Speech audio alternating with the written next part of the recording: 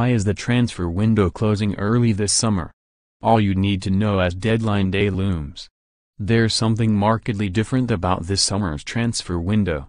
No, we're not talking about the absurdly inflated fees or lack of divas drops from players, we're talking about its early closure.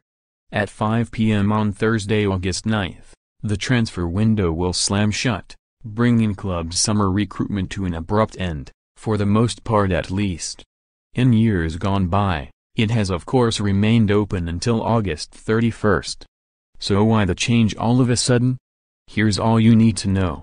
Historically, transfer deadline day arrives a couple of weeks into the Premier League season. While most fans had no issue with the date, managers weren't quite as keen, with many complaining that speculation around potential moves could distract players from their playing responsibilities. In September 2017, Premier League clubs voted to close the summer transfer window before the first game of the season. This season kicks off on Friday, August 10, when Manchester United host Leicester at Old Trafford.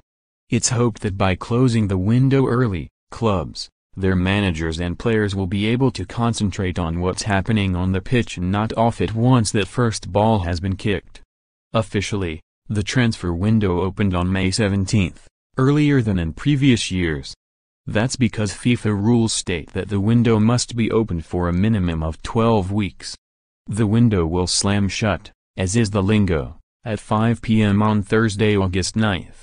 So what happens then? In terms of incomings, not a lot. Premier League clubs will have to wait until January to buy our loan players. They can, however, sell or loan players to clubs abroad until August 31st.